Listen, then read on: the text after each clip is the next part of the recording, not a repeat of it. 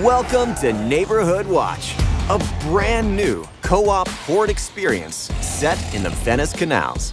You and your friends will play as the Bobcats, a ragtag group of college kids left behind in the LA evacuation.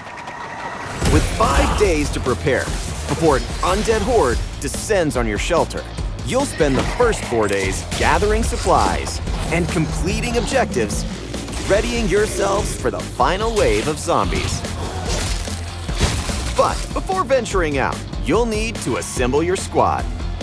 Each Bobcat offers a unique class with signature weapons, talents, and abilities to level up and customize.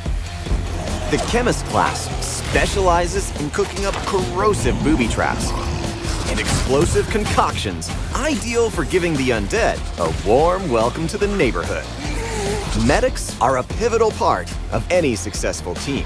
They can drop deployable med stations for healing and even assist teammates to help stack the odds in your favor.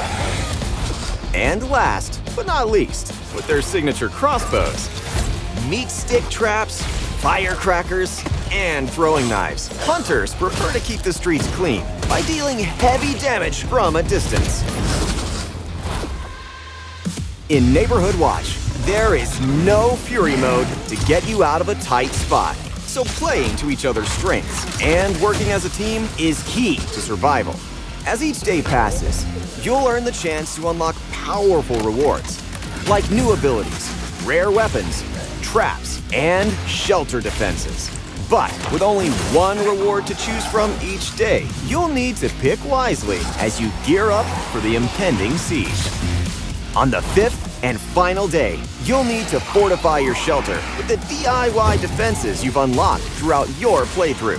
And get ready for an intense, wave-based scenario that will test not only your skills, but your ability to work as a team.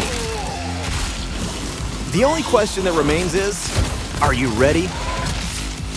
Welcome to the Watch, Bobcats. See you in LA.